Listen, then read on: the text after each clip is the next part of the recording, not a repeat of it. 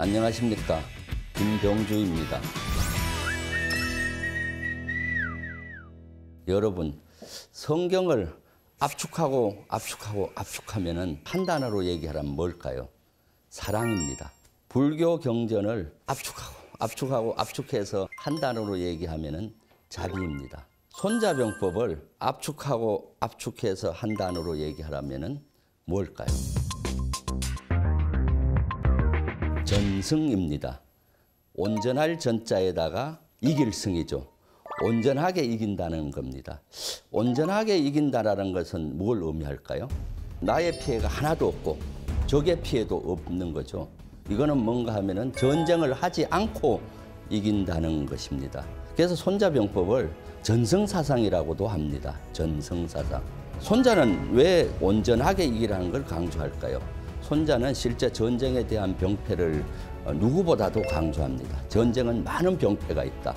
예산이 많이 들어가고 국력이 많이 고갈되고 인력이 피해가 많고 그래서 전쟁은 아주 속전속결로 하라고 합니다.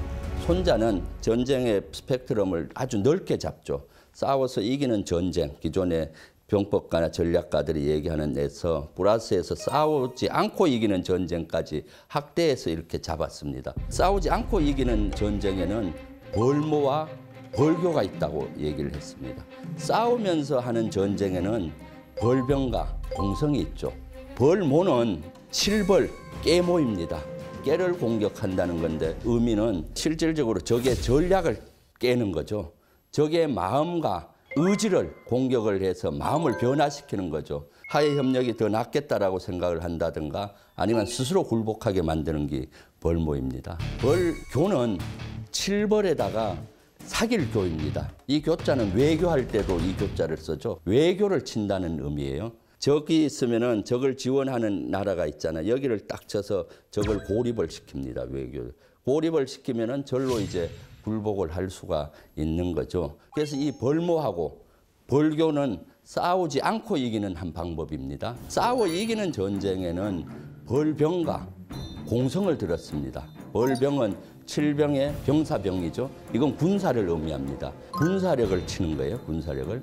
그 다음에 공성은 칠공에다가 성성이죠. 성을 의미하는 성을 친다는 겁니다. 성을 군사력으로 쳐서 성을 함락시키는 거죠. 싸워 이기는 전쟁에서도 손자는 어떻게든지 피해를 최소화해서 이겨야 된다는 걸 무진장 강조합니다.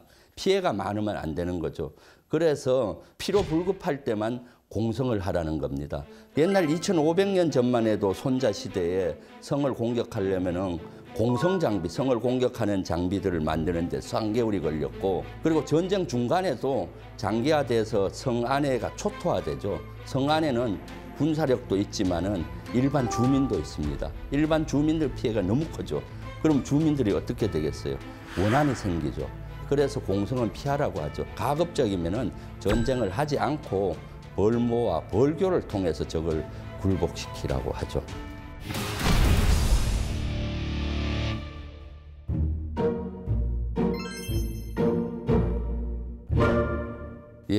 그 전쟁 사례 중에 대부분은 싸우고 이긴 전쟁이잖아요. 싸우지 않고 이긴 전쟁은 사실 많지가 않습니다. 많지 않지만 대표적인 사례가 고려시대 때 거란이 침략했을 때 서희 장군이 가서 단판을 벌린 일이 있었죠. 거란군을 패퇴시키고 광동 육주를 얻었던 그것이 싸우지 않고 이긴 사례의 아주 모범적인 사례라고 볼 수 있습니다. 그 당시 고려는 후삼국을 통일하고 어, 고구려의 후신으로서 북방 정책을 썼습니다. 그때 중국은 송나라하고 만주일 때는 거란과 여진이 있었죠. 여진은 그렇게 큰 나라가 아니었고 그 당시는 거란이 군사적으로는 최강대국이었습니다. 그래서 거란은 송나라를 탁 치고 중국을 천하통일하고 싶은 욕망이 있었죠.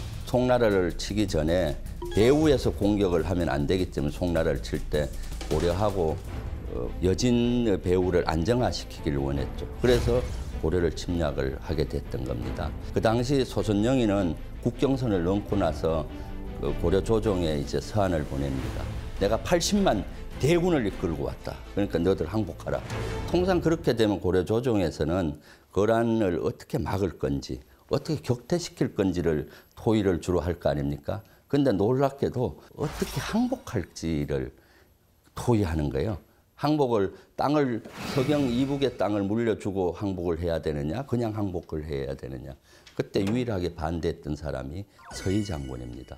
무슨 소리냐? 우리가 거란과 싸우든가 아니면 단판을 벌려보고 나서 안 됐을 때 항복을 해도 늦지 않다 라고 주장을 해서 결국은 서희의 안이 받아들여져서 서희가 거란 진영으로 갑니다. 운명을 건 단판 있잖아요. 이거에는 기싸움이 진짜 중요합니다. 그래서 소선영이는 기싸움에 이기기 위해서 뜰 앞에 서서 서희가 장군이 왔을 때 그 뜰에서 큰절을 하고 와서 단판을 하자 하는 거예요. 자기한테 큰절을 하라는 거죠. 서희 장군은 무슨 소리냐? 너가 거란의 왕이냐? 너도 거란의 사신이고 나도 고려의 사신이다. 동등한 입장에서 해야 되지.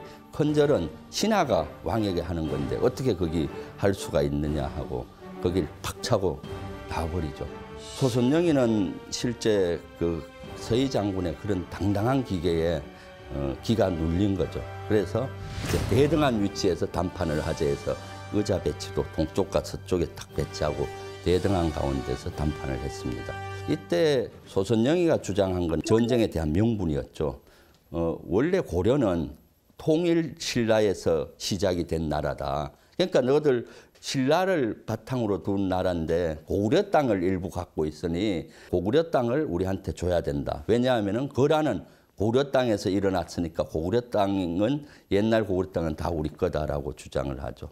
두 번째는 거란과 고려는 국경을 맞대고 있고 송은 바다 건너 있는데도 불구하고 너희들은 송하고는 우호 관계가 있는데 우리 거란하고는 적대 관계를 유지한다.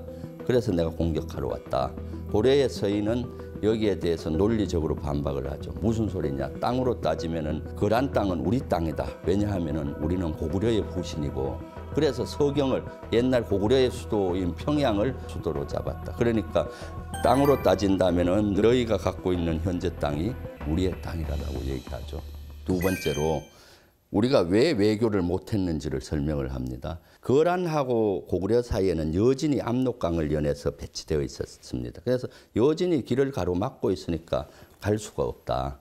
그리고 송은 바다 건너 있지만 배로 갈 수 있어서 송하고는 우호 관계가 있는데 우리가 너희들하고 우호 관계를 하고 싶어도 여진이 방해해서 안 된다. 그러니까 해결책은 너희하고 우리가 여진을 같이 공격을 해서 여진을 몰아내고 압록강 남쪽은 고려가 압록강 북쪽은 너희들이 땅을 갖고 거기에다가 성을 쌓고 도로를 만들어서 안전한 루트를 만들면은 조병 관계를 유지하겠다. 그래서 이거를 너희 왕에게 보고하면 왕은 좋아할 것이다. 라고 했을 때 소선영이는 자기의 의도와 왕의 의도가 서희가 깨고 얘기했기 때문에 아주 기뻐했죠. 그 이후에 이제 서희 장군은 실질적으로 그 지역을 확보하고 2년 동안 성곽을 쌓고 아주 요새로 만듭니다. 서희 장군의 단판 단순히 영토를 넓혔다는 의미보다는 대단한 전략적인 요충지를 확보했던 거죠. 이거를 손자병법의 벌모와 벌교 관점에서 보면은 두 개 다 한 것 같습니다. 벌모는 상대의 마음을 변화시키서 굴복시키는 거잖아요. 그러니까 소선영이의 마음을 읽고 서희 장군이 그 마음을 변화시킨 거죠.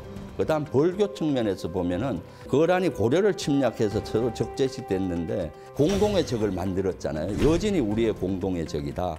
그러니까 너희하고 우리가 여진을 대항해서 싸워야 된다는 대여진에 대한 한시적인 거란과 고려가 동맹관계를 맺은 거죠 외교로서 그렇게 돼서 쉽게 여진이 차지하고 있던 강동 육주를 고려는 확보했던 겁니다. 그래서 벌모와 벌교를 통해서 싸우지 않고 이기는 좋은 사례라고 할 수가 있습니다. 와이프한테는 벌, 뭐부터 해야 될까?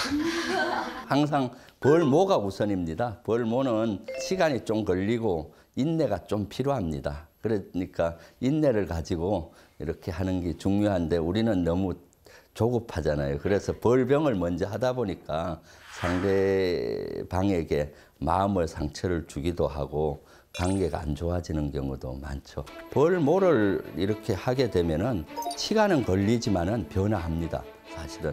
그리고 또 존경을 받는 가운데서 이렇게 하게 되죠. 그러니까 관계성이 좋아지고 또 리더십에도 서로 좋은 승수 효과가 나죠. 다음 편에는 졸속 행정은 나쁜데 전쟁은 졸속으로 하라라고 하는 손자의 얘기가 있습니다. 여기에 대해서 이상하시죠? 여기에 대해서 여러분과 함께 이야기를 나누어 보겠습니다. 여러분 좋아요 꾹 구독 꾹